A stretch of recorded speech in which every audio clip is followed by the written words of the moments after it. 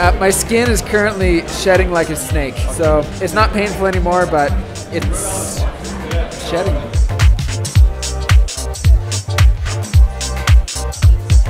We came down to a different world than when we left, and it's been a, a huge adjustment to get used to. It's exhausting, it's exhilarating, it's it's mind-boggling. It's taken up every waking moment of our of our days since we got down. So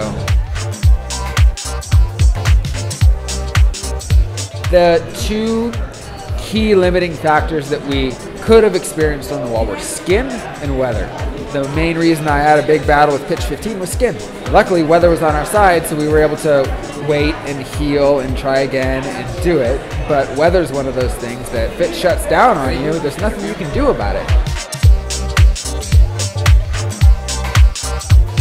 Sitting in the portaledge and staring at your fingers and hoping that you grow skin faster and stretching and doing push-ups and drinking water and listening to music and just hanging out.